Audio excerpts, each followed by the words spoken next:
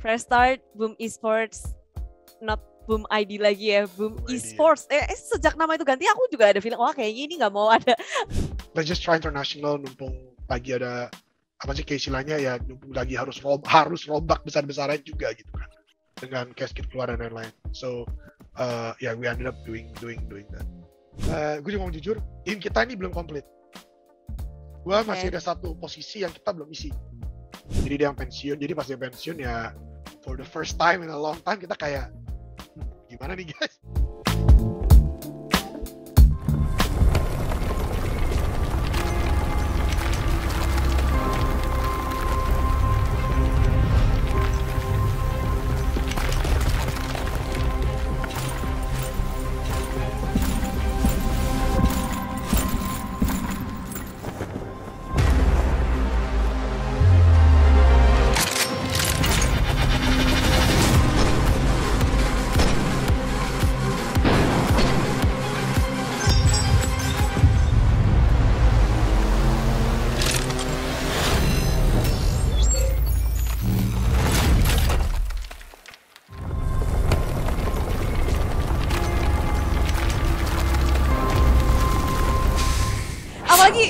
Ya yes it's a it's kind of dead game sekarang Ya. apalagi di Indonesia kalau Dota kayaknya sekarang masih masih baik dan maksudnya jenjangnya tuh kelihatan gitu loh. Oke, di setiap ininya ada ada DPC-nya, ada TI-nya juga masih ada walaupun tahun lalu nggak ada dan Boom itu lima tahun udah berdiri mencoba untuk masuk TI dengan full Indonesian player dan pada akhirnya kayak gimana caranya kamu bisa bertahan dengan kegagalan bertahun-tahun tahun-tahun tahun ini kok? Uh, How how can you survive? Uh, ya kalau gue sih, cause I don't, yeah, I don't really pay attention to um to netizen. I I, I Oh oke. I'm old, so I'm older. I, I I don't listen to them and ya gue percaya gitu. Gue dan uh, sorry to say, sebenarnya to, to be honest, gue percaya sama tim gue gitu. Karena gue ngerasa kayak setiap tahun, uh, walaupun kita nggak pernah ke TI, uh, kalau kita ngelihat tahun per tahun, I think Boom always became stronger. Oke. Right. Boom first uh, kita pertama kali coba tuh TI 6 atau TI 7 kalau nggak salah. Mhm. Kita lumayan bad lah, bad performance. Tapi TI 8 Boom stronger than TI 7. TI 9 Boom lebih kuat daripada TI 8. TI Oke. 10 Boom kemarin kita top 3. Definitely stronger than TI 9 Boom, right? Cuman ya we couldn't we couldn't make it, right? Um, so um, yeah, then I guess the next thing that I did was yeah. So now how do I become stronger? Right? I've tried all the Indonesian player, all the Indonesian player at the top level, at the highest level. Kecuali Samper sama White Moon actually I never tried. But um, you know, I think um, kayak gue bilang, um, gue nggak bisa mencari pengganti Cassius karena dia tuh sosok kapten. Orang tuh pada nggak nyadar nih, orang kan cuma mikir skill di game, nggak mikir kapten ngurusin ngurusin tim, ngurusin chemistry anak-anak di luar tuh impo- impossible to find Cassius replacement gitu kan. Aha. And um, no offense again, no offense to White Moon or anyone. I think White Moon is a very skilled five. I would love to have him in Boom, but I don't think dia kapten. Di T1 kaptennya kan Kuku dari off. Iya iya. iya. So it's not it's not really you know like he wouldn't be able to fill that spot gitu kan. And then Hyde and Sepper ya you know. But other than that, name it, Jokam, Yede, Udah di situ semua. Drew, everyone I tried right, and we we we we ya masih one step almost there, but not good enough gitu kan. So I think um yeah then I guess you know the decision yang kita keluarin minggu lalu um, kita akan uh, we're, we're trying an international lineup gitu moving forward. Kayaknya kalau dari siluet-siluetnya ini ya kok ya. Pemain neon ya? Uh Sih? this this is what I'll say. Um, gua mayoritas gak akan Indo, and that's obvious from the from the announcement kan, karena kan Iya iya iya iya. kan tiga udah gak Indo gitu kan. Eh, eh. So I'll, I'll say that. Um, kapan sih podcastnya? Up? Kapan sih tahu. Terus gua, Minggu, masih ya. masih minggu depan kayak Oh minggu depan oke oke. Karena announcement tim gua minggu ini harusnya ada announcement. Karena tadi pagi di announce kita main di BTS. Tanggal 4 nih. Tanggal eh, tiga hari sekarang kita main di BTS. So akan ada player announcement dalam tiga hari ini. Wow, so this week ya. Yeah, so you you are not wrong. Amber Lu, You- yeah, you are right. Mid one. Uh, no mid one, no mid one. No mid one? Um, no mid one. Sholatnya mirip banget. tim gua, tim gua uh, itu sholat kayak Ojan cuma ngeprank deh. Baru Oh, kayaknya, kayaknya, kayaknya I don't know. Atau but- mungkin mirip. yeah, but gak ada mid one, gak ada mid one. Um, I'll say that much. Um, tapi uh, gue juga mau jujur, tim kita ini belum komplit. Gua Oke. masih ada satu posisi yang kita belum isi. Kita emang, Captain. uh, bukan bukan kapten, uh, core core satu core kita Ah, belum oke. isi. Karena kita uh, pertama mau nunggu, ya pertama kan TI kita nunggu habis TI siapa tahu ada opportunity yang sangat bagus yang tiba-tiba available. Uh, kedua, jujur dari um, possibility yang ada sekarang dari segi free agent, nggak ada yang kayak satu nama yang kayak gua mau itu orang gitu. Kita ada mungkin kayak mungkin ini orang, mungkin ini orang, mungkin ini orang. Jadi uh, kita akan trial beberapa orang di posisi ini. Oh wow. Jadi kita emang timnya belum komplit. Yang empat lumayan komplit. Um, there will be a TI player in the new book. I can say that. Not not, not this Ooh. TI, but have been to a couple of TI. Punya pengalaman di TI. Punya pengalaman TI ya. Old I guy, say that much. Ah, quite old. Gak tau deh tua atau enggak, cuman uh, yeah, he's he has the experience for sure. Uh, mungkin itu yang dibutuhin juga nggak sih sama tim-tim Indonesia karena ya bertahun-tahun kita mencoba buat breakthrough untuk masuk TI tapi nggak dapat-dapat mungkin karena belum ada belum ada ini yang jadi sebuah kunciannya mungkin ya kok ya jadi pengalaman punya ya shot call juga dan pada akhirnya kamu kayak nggak nggak pakai lima Indonesia itu it must be hard for you sih kok buat It's hard. tiba-tiba ganti Alright, yeah. Because I think si, di sat- satu sisi tuh kayak lima tahun gua kayak, I mean no offense ya kayak kita juga sering ngomongin uh, going international lah, gitu. Bahkan mungkin di peak kita kayak 2017 2018 di mana kayak eh 18 19 di mana kayak mungkin uh, kita kurang serak sama satu orang gitu. Anggap pas uh, ya dia waktu itu sempat kayak uh, keluar yang kedua kalinya Mhm. itu kan posisi core gitu itu kayak maksudnya wah Asia Tenggara banyak core gitu kita kayak pernah mikir tuh mau ambil uh, all these big names lah you name it gitu cuman akhirnya kita kayak coba Indo dulu deh gitu. karena kita kan komunikasi Cause orang harus nyadar kayak again ini tuh kompetisi. Ini bukan kita nggak main football manager guys gitu. Yeah. itu kompetisi gitu. Kayak harus dipikirin komunikasi. Tim yang dari ngomong Indonesia itu jadi ngomong Inggris. Bener kan? Itu Ya, kayak what will happen gitu. Dan unfortunately di tim gua nggak semua comfortable ngomong Inggris gitu. Maksudnya mungkin Ah. kalau kita main pubs kan beda kan push mid push apa gitu. Cuma kalau kita ngomong Heeh. empat Indo satu Inggris kan pasti pertama chemistry-nya gimana di saat mereka nge-BC kan pasti yang empat ngomong ngerti gak sih kayak kan yang ya ini ya kayak ya ya feel a bit left out you know trying to say like it's it's not that easy gitu loh jokesnya beda Iya. communicationnya beda iya iya dan biasa kan orang ya walaupun ngerti Inggris tapi Iya. main language-nya akan langsung keluar gitu eh maju maju maju maju terus yang satu kayak Iya. Iya. So like it's not that easy gitu loh. Jadi in the Ya. past kita selalu kayak um, ada Indo kita coba Indo gitu. Terus waktu itu ada Hyde kan, Hyde was available. Mhm. Um, kita ambil Hyde. Terus kayak um, ya all these lineup changes we Ya. did. Kita kayak yang Drew juga pas dari Mochel sama Drew terus Drew uh, dari Mochel balik ganti Drew. Juga sebenarnya kita waktu itu ada thought about um, another name lah and I think all the penonton tahu um, who it was tapi di end kan kita kayak udahlah terima mocal aja kenapa karena kita mau di patch 2 mau TI uh, again ganti komunikasi tiba-tiba tuh it's it, it might be ya nggak nggak kita underestimate lah kesusahannya itu kan heeh. dan Dream Jadi, Mochel keluar lagi jadi uh, welcome back back again and out again and again. out again Elah.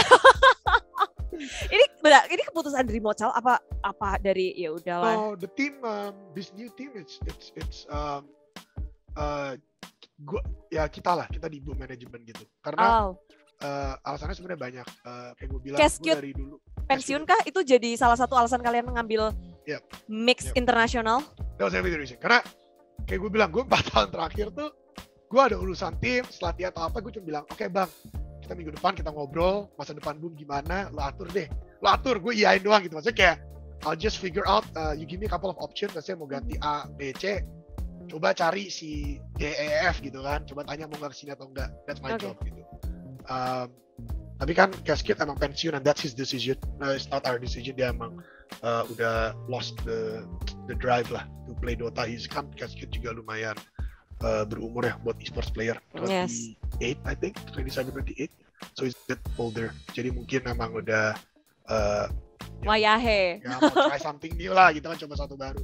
Jadi dia yang pensiun. Jadi pas dia pensiun ya for the first time in a long time kita kayak "Hmm, gimana nih guys? Kayak kita nggak ada orang itu kita nanya gitu kan opininya Lost. gitu ya lost gitu. Jadi waktu itu gue pikir um, sekalian kita dapat fresh start lah. It's a good time to also do a fresh start right? Kita uh, find all these players yang um, ya why don't we just go international gitu. Kita udah empat tahun coba ke Indo. Always so close but so far at the same time siapa juga yang mau dicolok masuk udah dicoba semuanya gitu kan. Jadi kayak let's just try international numpung lagi ada apa sih kayak istilahnya ya numpung lagi harus rob, harus rombak besar-besaran juga gitu kan. Dengan casket keluar dan lain-lain. So uh, yeah we ended up doing doing doing that That's something you never thought. No, not Tiba-tiba. really. Oh, Yeah. oh. I mean, Tapi kalau- never- nggak nggak pernah kayak I mean we, kita nggak pernah sih kayak every year pasti kita ngomong lah aduh kita internasional internasional cuma kayak the day kayak kalau ada line up 5 Indo pasti gue lebih ke sana Hmm. Ngerti nggak sih? Karena kan Oh, kayak- yes, yes. aduh gila you can imagine lah kelar kita 4 tahun gitu kerja keras terus kayak kalahnya kan kayak nggak jauh gitu kayak Eh. top 3 tahun lalu kita jelek cuman kan kita tahun lalu sempat di nomor satu di Asia Tenggara. Sempat juara berapa kali. Jadi kita kayak aduh sebenarnya bisa gitu loh. You know that feeling of like bisa cuman nggak pernah nggak pernah gol gitu. Jadi Close yet yeah. so far. yes yes yes that feeling. But this Almost is year- never enough. but this year emang it's um I think in Indonesia no one can replace Kaskin as a captain uh, unfortunately. Uh, maybe Sepper can to be honest. But um, kan dia masih yang ke T1 dan dia ke TI. I don't think they're gonna change lineup because they they are in TI they're doing really well so why would they change lineup um, I thought that um, ya udahlah kita fresh start aja sekalian try something Fresh start, Boom Esports. Not Boom ID lagi ya, Boom Boom Esports. Eh, eh, sejak nama itu ganti, aku juga ada feeling, wah kayaknya ini nggak mau ada full Indonesian sih. Dan emang kejadian ada A, B, C, D, X, Y, Z. Dan, tapi Koger untuk harapanmu sendiri buat mungkin Boom Esports Dotanya dengan new line up ini, apa sih kok? Mungkin dari para fansnya or apa pun itu. Ya. um, di kertas di kertas I think kita top top top team in Southeast Asia top top team these are um, these names are big they're not small names. I, I can tell you that it's it's a lot of investment that I put Ah, into yes. this lineup. Eh, Bentar, mereka Uh, bakal datang ke Indonesia? Uh no no. I think kita akan online dulu um, until pandemi kelar. yes until pandemi kelar.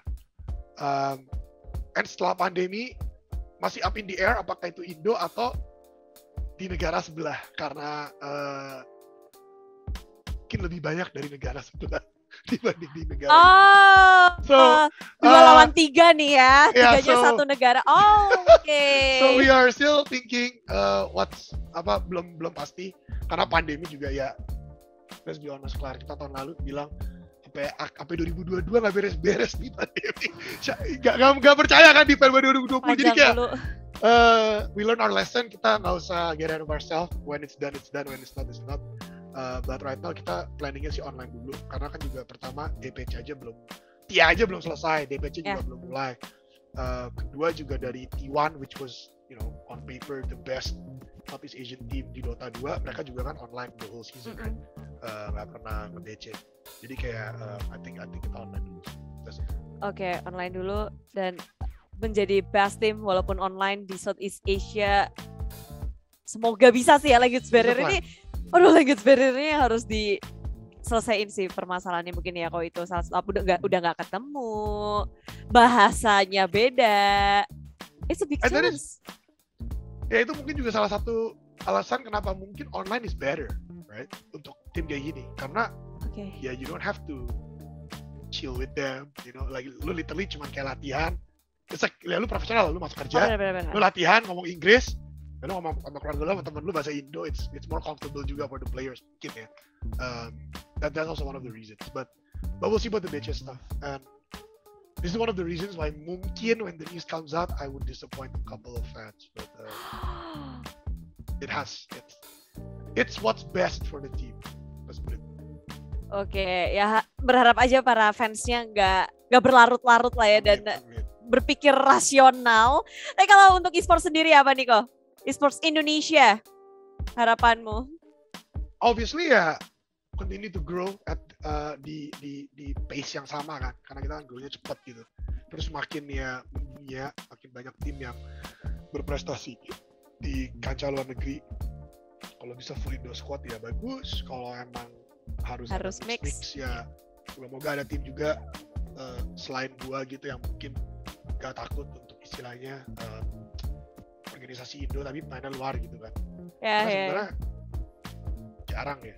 Yang orang think of is, I guess ada Repo, Malaysia, BTR gitu kan. Mhm. So um, ya kayak continue growing supaya kita uh, karena kan makin makmur e-sportsnya, makin kaya organisasinya, makin kita bisa jadi e-sports hubnya gitu kan. Kita jadi bisa narik the best player, gak harus player, gak harus the best player, go there, let let Yeah. the best player come here, and that's good for everybody, right? Buat fans, buat uh, for you guys the casters, for the EO, for us the viewership, everyone is happy, right?